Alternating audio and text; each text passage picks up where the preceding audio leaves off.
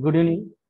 In The previous session, we discussed about the some of the concept related to the what is a class, object, and then Observe method, method. and then constructor, self parameter. Like that, we discussed some of hmm. the concepts. Now you are going to know about the inheritance concept. After that, you have to know about the, some of the concept related to the polymorphism. Polymorphism in the sense uh, it is related to the um, operate uh, that means method of overriding and method of overloading concepts. That is uh, related to the overriding concept. And then a data abstraction. After that, you are going to know about the encapsulation. These are today's uh, agenda. And then what is the inheritance concept? For example, one class is one class is uh, inherited from the other class. That is a Um, yeah, yes.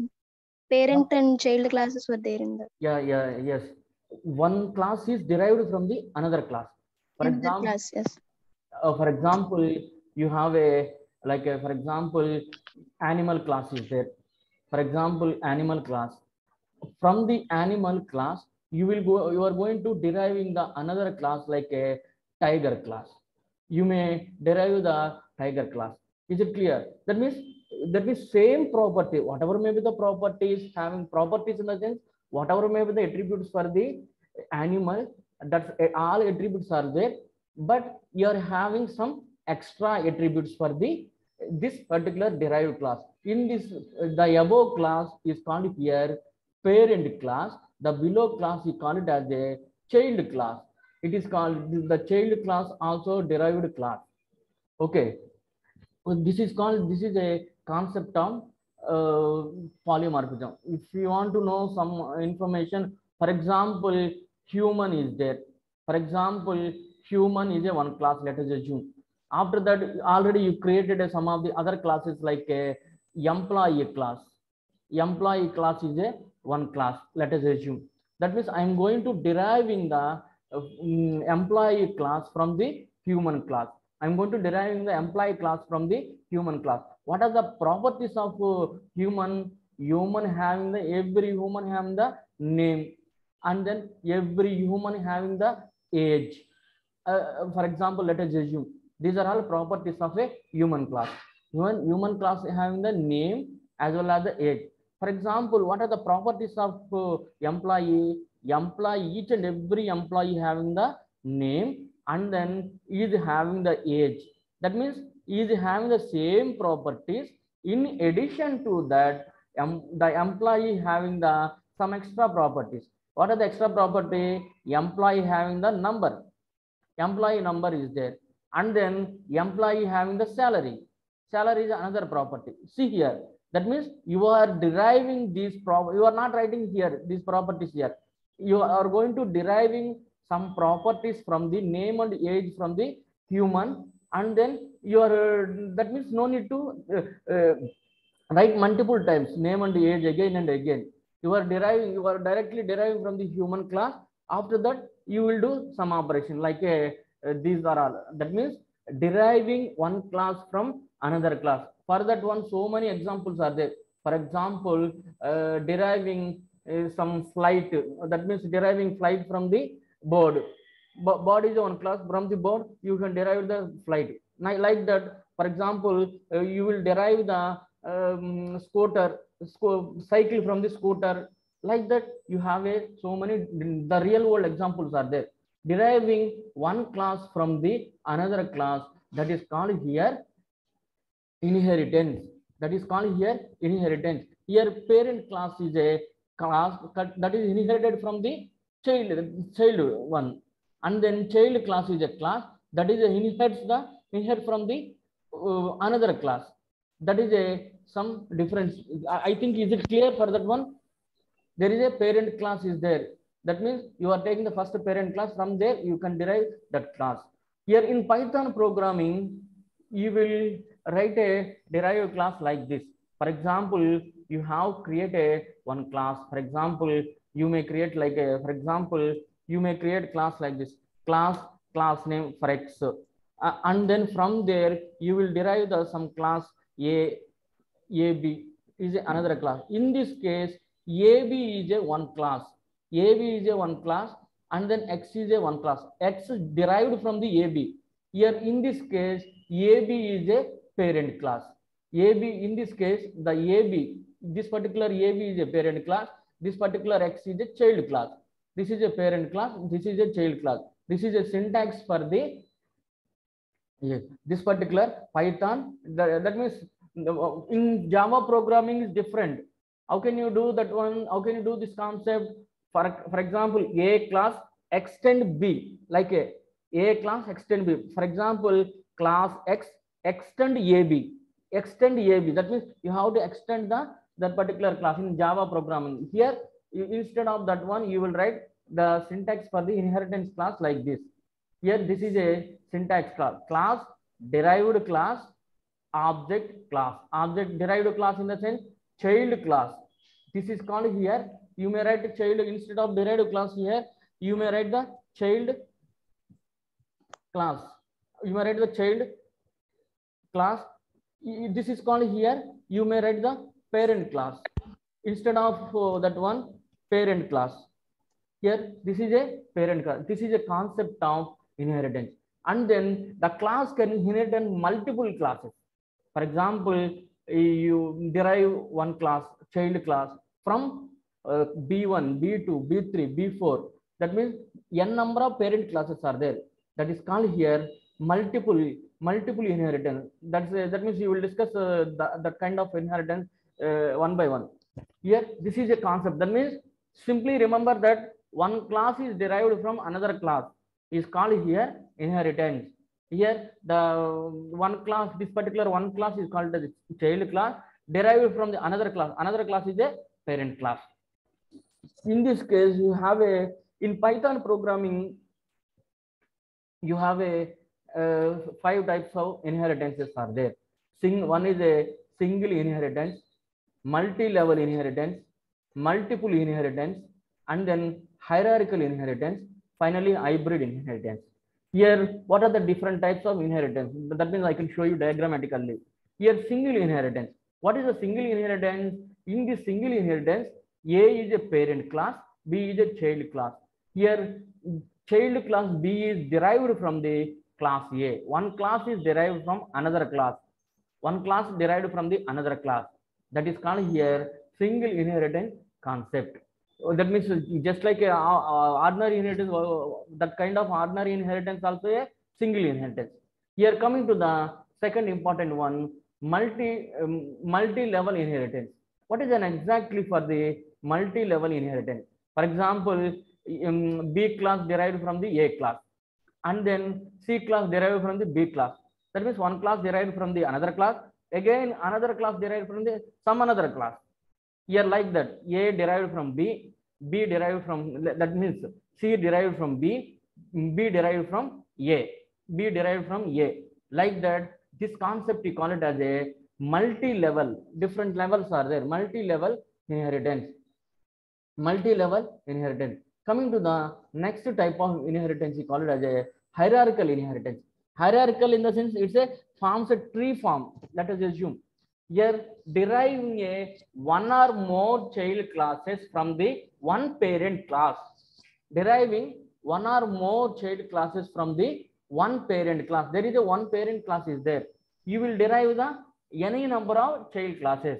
Any number of child classes. That concept we call it as a hierarchical inheritance. Finally, you have a uh, one type of inheritance. You call it as a multiple inheritance. Here, Java does not support the multiple inheritance. You can support, you can do multiple inheritance in Java by using interface concept. That means with the help of interface, you can implement that uh, multiple inheritance. But here in Python, you can directly implement the multiple inheritance concept. no need, no need to worry about this particular concept. You can directly implement this concept. That is a advantages of this one. Finally, another important one here is a hybrid inheritance. What is a hybrid inheritance? Combination of any two or more, than two. Combination of any two inheritance, you call it as a hybrid inheritance. The combination you may collect the from that means you may take the uh, for example hierarchical inheritance After that, multi multiple inheritance. Combining these two inheritance, hierarchical as well as the multi multiple inheritance, you co- co- collectively call it as a hybrid inheritance. That is a different concept. We are coming to the first one, single inheritance. That means I am I am going to discussing some concept in a single inheritance. From there, I am going to writing a simple program about the single inheritance. Here, what is a single inheritance? See here, by seeing this diagram, you can easily know the, this is called here single inheritance. This particular uh, information you call it as a single inheritance. What is a single inheritance? Class B derived from class A. One class is derived from another class. One class is derived from another class. you call it as a single inheritance. One class is sorry derived from another class that is called here single inheritance. Here the B class derived from A class. That's why it is a single inheritance. That means in the inheritance, you can get the parent properties into child class. That means you have a some other information is there. In the inheritance concept, you can get the parent properties, just like a human having the some name, number, like all properties. You can get the all properties from the uh, parent class. The child get the all properties from the parent class. That is a single inheritance. And then that means you will develop the single inheritance by using simple concept here. For example, um, what is the condition here? You have a parent class is there and then child class is there. I am writing some simple program for that one. For example, I'm going to implementing the class, one class. How can you implement the class here? You have to remember the uh, the syntax here. Class, class name, parent. For example, parent class. The simply I'm going to implementing that one. Here uh, I'm writing that one. After that, I can. That means what I am doing here. Here I am taking the one parent class. From the parent class, I am going to implementing the child class. Here, this is a child class. This particular information is called as a uh, single inheritance. This is called here single inheritance. That means this particular concept I am going to implementing. Here first I am going to take the parent class. Here parent class that is the same name I am taking, no problem. Parent class. From the parent class, I am going to defining the some function. Let us assume the parent class consists of some function. Here, what is the function here? Uh, let me take a simple function, any function. For example, f1 is a one function I am taking. def, I am taking the f1 is a one function. You may take any function. That means if it is not a function here, here it is called here method. Why it is called here method? It's having the self keyword. That means this particular method, this particular method belongs to this particular parent class. This particular parent class. You may take the capital letter here. You, that means for the class name, you may take the small letter or capital letter. There is no problem. It gives some warning, no problem. That is it. I am taking the F. F. Amma, your voice not clear. Okay. F1 Sir, class name is any class name same amma class okay no no okay even though use the class uh, parenthesis no problem for that one. yeah yeah sure sure okay thank you is it clear here i am taking the f1 is a some function and i am not writing anything here simply print something i am going to print something here here for example uh, this is a let us assume this is a parent class let us assume parent class. Let us assume this is a parent class. Yes, this class over. That means I created a one class. This class you call it as a parent class. I'm giving some name for this one is a parent class. Next, I'm going to creating the child class. How can you creating the child class here? You are going to creating the child class. What is the syntax for creating the child class? Tell me anyone? Child class syntax. Here, how can you class, class name, see the, see this diagram. Class, the class, for example, yeah, see here. class class name and then parent class name. Is it clear? Class class name and then parent class name.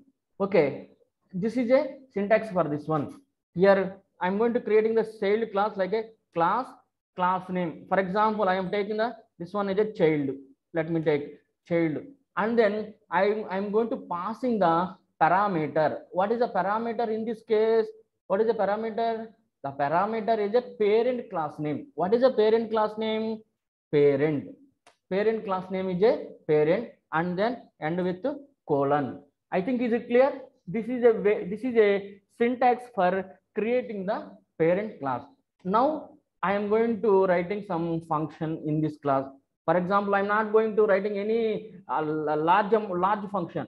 And simply i'm going to creating some def the function name i am taking it as a d mm, for example f2 let me take a function name as a f2 here this particular function name as a f2 after that i'm going to printing something here. I'm going to printing something. What is what i'm going to printing here? I'm going to printing for example this is a child class.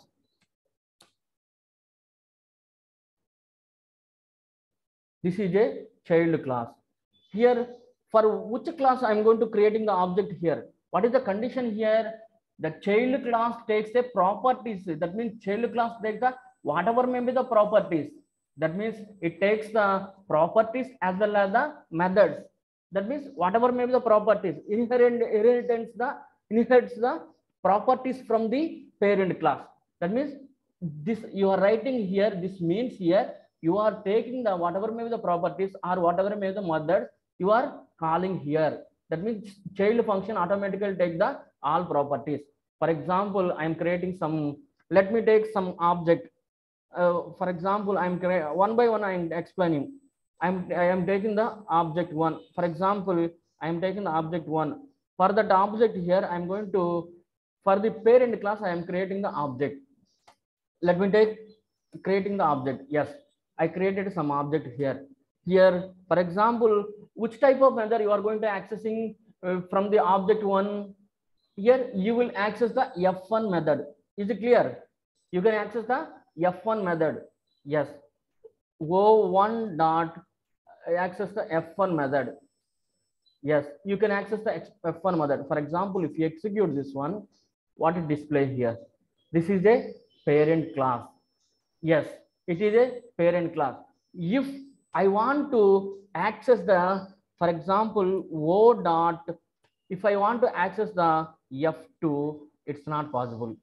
If not possible here that means it is automatically showing some error some error here. That means why? Because i created an object for the only parent class. I am not inheriting that one if i execute this one it's showing some error. That is a that means it is not possible in this case. Next here i am commenting this one. I'm commenting this one and then this one also.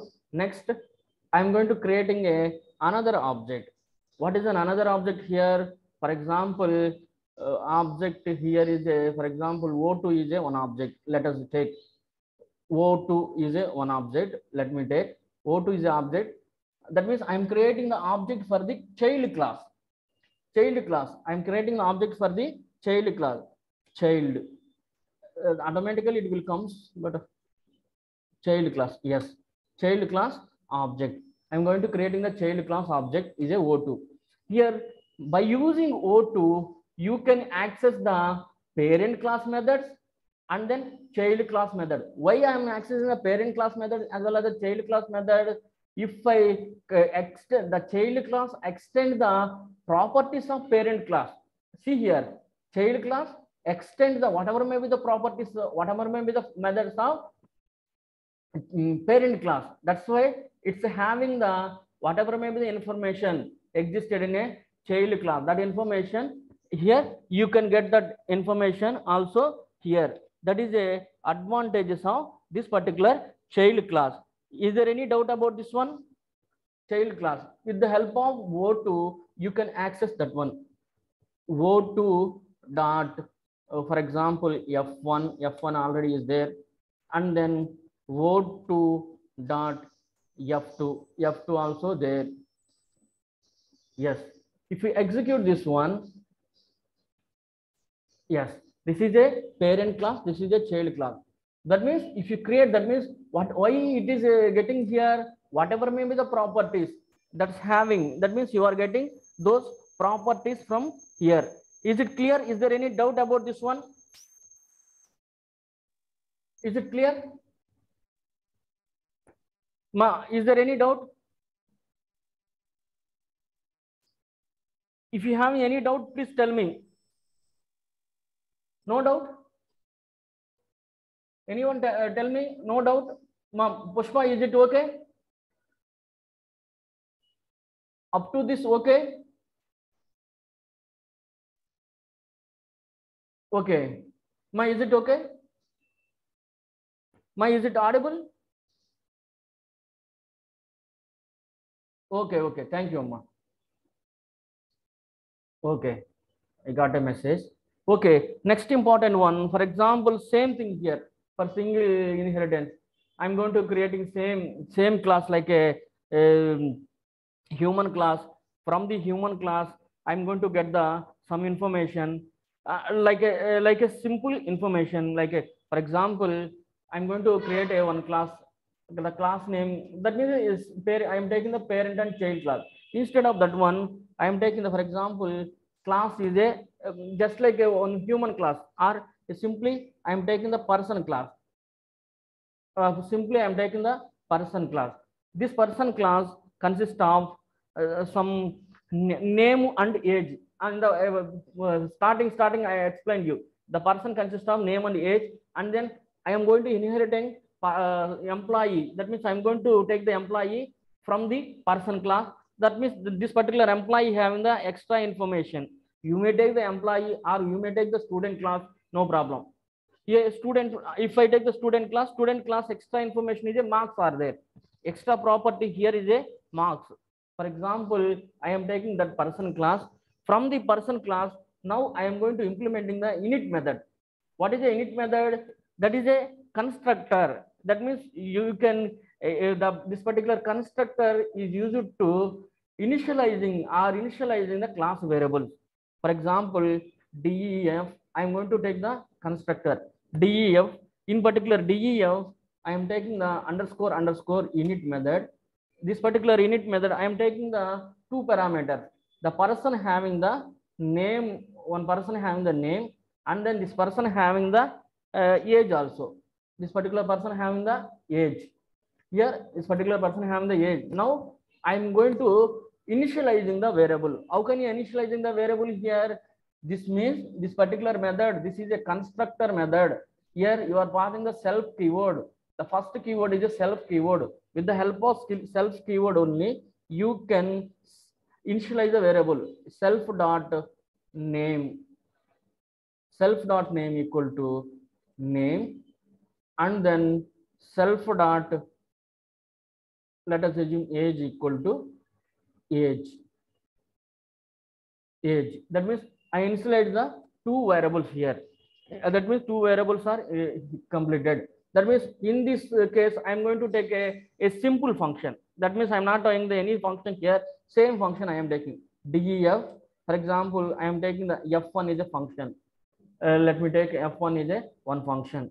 This function consists of i'm not writing anything here. Print statement here. In particular print statement i'm going to printing a uh, these names. For example self dot name comma self dot uh, age. Self dot name comma self dot age. That means i printed the uh, two variables here. Now if i that means if i take the uh, for example you may def is having some okay no problem. Uh, if i create that means directly you may create an object here. For example y equal to uh, person. I'm creating the object and then ex- executing this particular object here. y equal to person. o dot what is the value here? oh, that means at the time of creation you have to pass the whatever may be the values for the constructor. For example, name equal to Uma and then age equal to 33.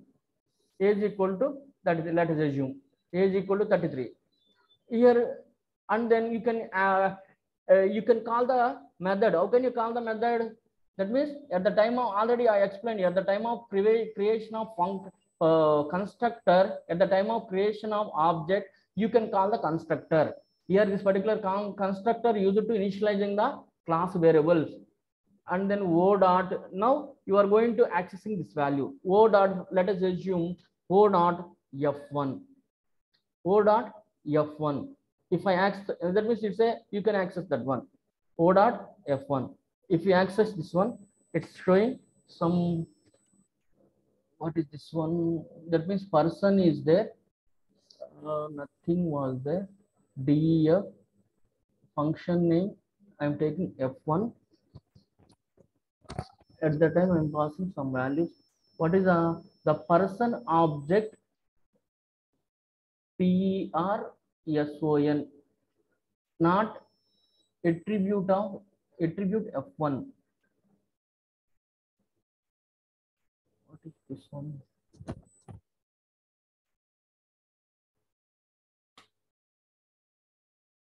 Okay, okay, one minute. Yeah. Okay, it is going to complete it in 15 minutes.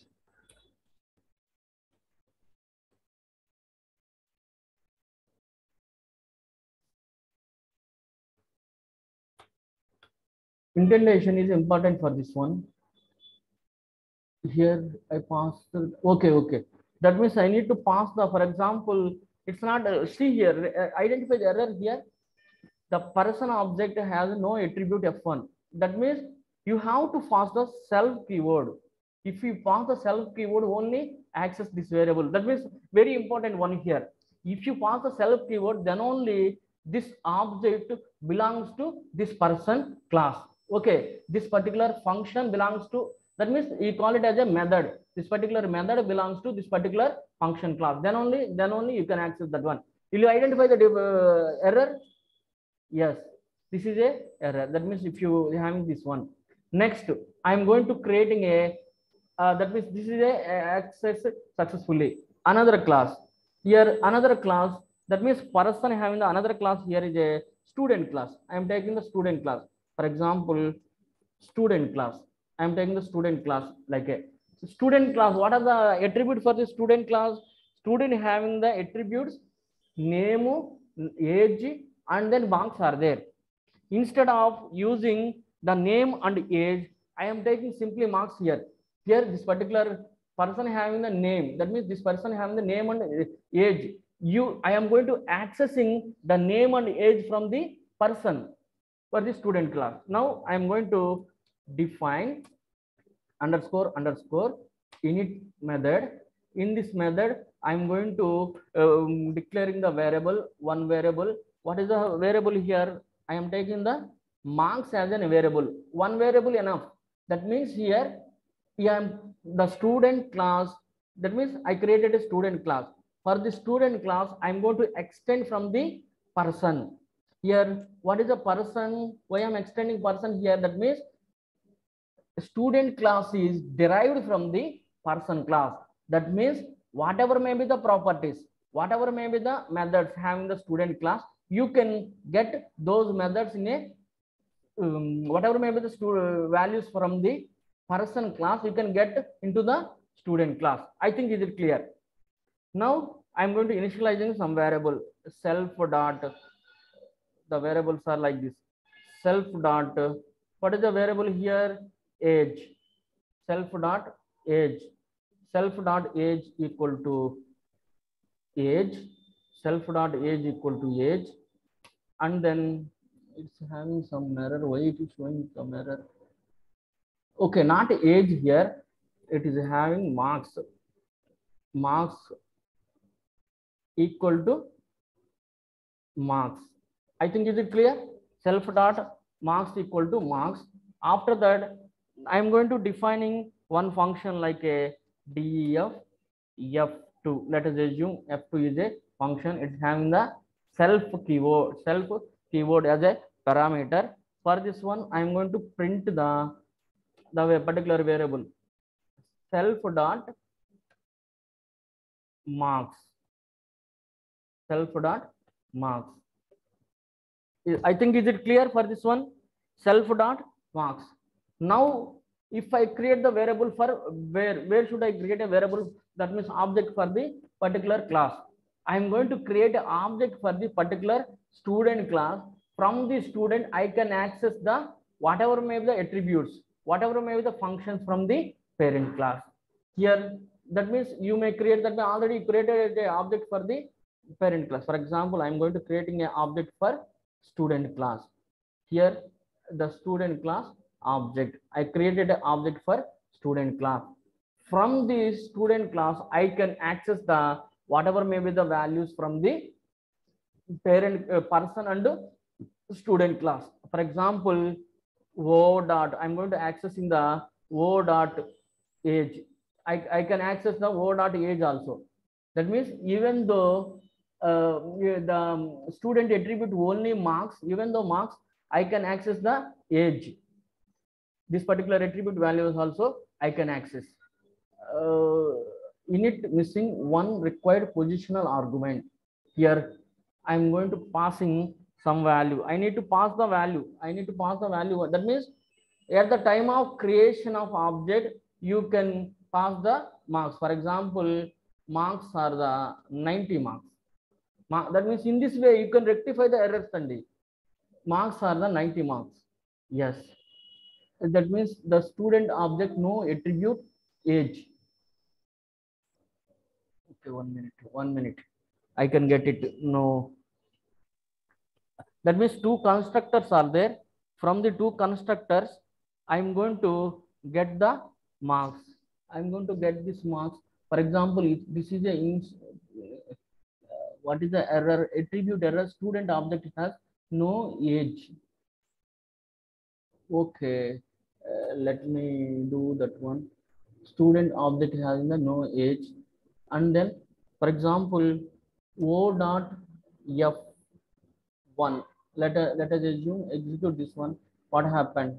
O dot f1 here o dot f1 having the that means you have to pass the certain values here. You have to call f1 and f2 yes yes. Yes. Oh, for example you have to pass the certain values for that one initializing the values. For example i am calling the f1 and f2 for example okay is there any simple inheritance concept? Is there? One minute. One minute amma. For example you have a simple inheritance concept passing two parameters in this case. Okay not having anything. Okay okay. I can get it. Okay if i pass the variables like a all variables. For example i'm going to pass in the name as a for example uma name as a uma uh, and then another parameter is age as a for example uh, 33 for example marks as a 100 if i take the, this parameter what happened this one? Positional argument but four are given. Okay what happened this one that means constructor i am passing that that means you have to get this constructor uh, with the help of super keyword that means uh, you have to get that all information from here. Uh, that means in uh, this particular get information you required to use the super keyword i think so for that one. Uh, okay. It is a that means you will discuss uh, that information later if it is a time that means you may apply the super keyword for that one. Okay that means i'm going to applying that one. If i apply the super keyword that means inheritance from here whatever may be the values from here. For example you may take the another one. For example this is a one class another class is there. Hmm, how to get that one that means you will use super keyword. Let us take, how can you use the super keyword? Let me take a simple example. For example, super uh, keyword. Okay, whatever, maybe that means we will discuss some, no problem. That means it's having some problem. Uh, instead of uh, using this one, simply I am using a simple method like a name number, but you have to get it. How can you get it? This one, okay. I'm passing a simple parameter, for example, 65. For example, if I pass the F2, you can get it. Uh, okay. You can get the answer from the F2. I want to access these values. How can I access these values here? In order to access, that means you pass the function uh, um, student person also. Student person in the sense, whatever may be the values you're having, the, those values comes here. Uh, for that, uh, for getting the those values, you have to, you have a some super method is there. You will use super with the help of super you can get the all proper